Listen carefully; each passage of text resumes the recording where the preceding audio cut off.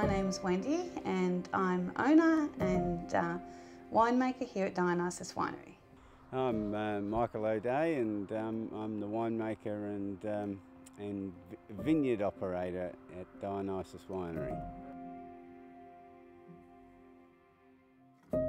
First bottles we made were actually part of our studies, um, made in our garage, and then our first commercial vintage was made in 2001 from our own fruit. So we planted our vines in 1998, and in fact next week is our 20th anniversary since we planted the first vines.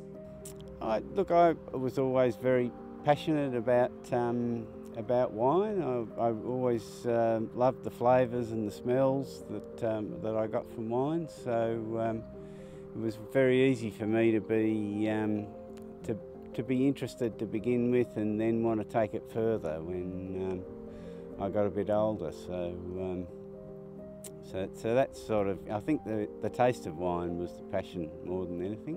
When I drink a glass of wine, it's not about the recipe, it's about the region, the climate, the people that put their love into that wine. And every wine is different, so even from year to year, have your favourite wine, but it differs depending on how much rain they had, how much sun they had.